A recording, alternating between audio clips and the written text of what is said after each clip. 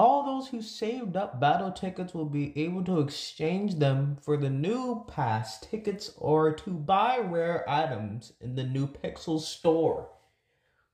This really, really sounds it sounds it sounds really cool, not gonna lie, but also intimidating at the same time because I'm gonna lose all of my battle credits. I'm gonna lose all of it. It was all for nothing. All for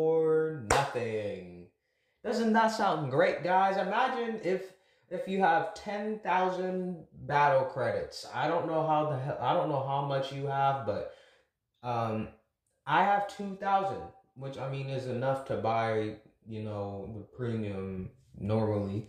But um hopefully this new battle pass rework is worth my time. I mean, it's cool, but I'm gonna lose all my battle credits. There's a new currency in Pixel Gun called um what is it called again? Pass tickets. That's what it's called. Pass tickets. It's called pass tickets.